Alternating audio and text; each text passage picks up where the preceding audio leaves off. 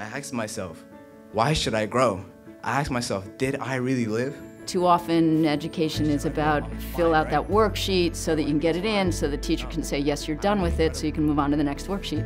I want to do something splendid before I go into my castle. We need to build our skills, but we work really hard to ensure that the skill building even is in the context of that thing that's going to matter. I think I shall write books. That would suit me. So that is my favorite dream.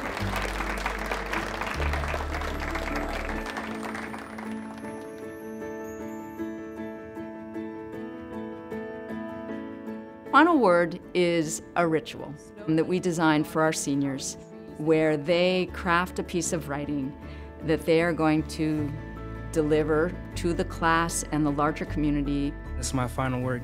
So it ends with every single student having a moment behind the podium. Their families are invited, friends are invited, and they get their moment in the spotlight. You know, they get their moment that is theirs, where we listen to them and we honor them.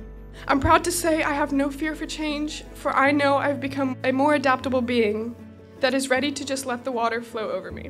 So they prepare and they write a piece that is about three minutes long that is guided by some questions. One being, how do you want to be in the world going forward? This is our last class before final word.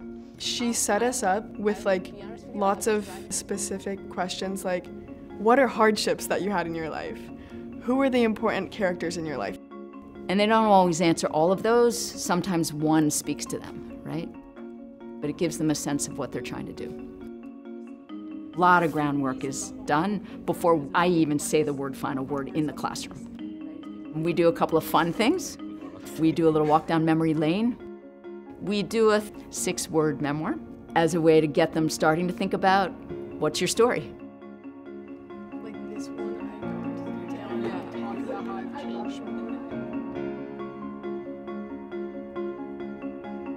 And then it's time to get writing.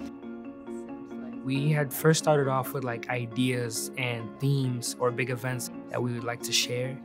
And then uh, as we kept writing these ideas, you know, we developed them into drafts. Have you moved from poem to narrative?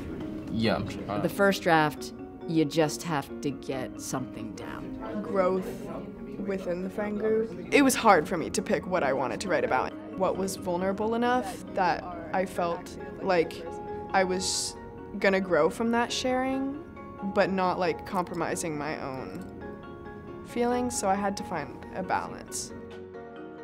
Second draft work is to figure out the stories you want to tell. Third draft is we need to go in and, and polish it up. So at that stage then, it's really about conferencing, it's about feedback. Well, what do you want? What do you think it needs? Through the writing and accept, accepting all this feedback from the teachers, you definitely feel an accomplishment when you get the work done. I was so determined to find my spark again. Things took a turn when I diagnosed myself with a case of senioritis. I was hardly doing any work or going to classes. Sorry, Mom. I've seen the kids eyes wide when they recognize what they're capable of. And they had no idea before. They just did something they had never done before. Right? There's nothing better. And Final Word does that. I felt inspired by all the strong women in my life. And even when I faced challenges, I gained strength knowing I was becoming more like them. Like now that it's done and I performed it, I'm like, I wouldn't have been able to be successful in that without being pushed. It's the genuine care and love that the teachers have because they want you to succeed and they know your your greatness and potential. I hope that as every day goes by, I'll keep improving as a human being, spreading kindness and paving my own way when there isn't a way. Thank you. Today I felt a sense of like relief and content with myself and definitely some pride. You know, I'm really proud of myself. It was just an amazing feeling. We felt this unity and togetherness today. That is that is joyful, and that's why this event is so emotional and moving. Every single kid has that opportunity to figure this out, and then every single kid is heard and and cherished in that moment, right? Loved in that moment. Because that's what happens up there.